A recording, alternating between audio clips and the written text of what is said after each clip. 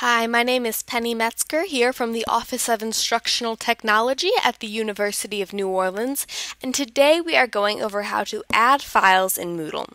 Let's enter the course you'd like to work on. Today I'll be working in the Moodle Training Sandbox. I'm going to go ahead and dock my navigation bar just to give me more room on the screen. If you need help with that, we have a lesson on docking, and I'll post the link to that video in the description. Now, there are two ways of adding a file, but first we need to turn our editing on.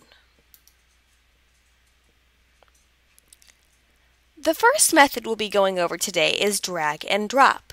To do that, your Java will need to be up to date. First, you're going to find your file. Then, you are going to click the file you would like and slowly drag and drop onto where you would like it. The key here is to move slowly and steadily.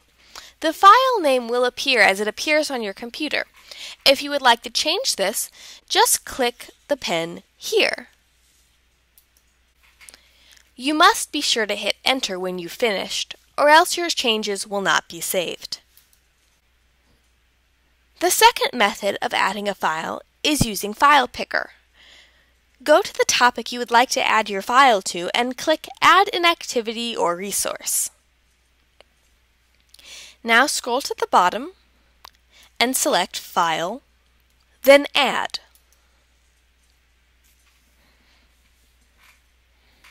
First, you will need to give your file a name.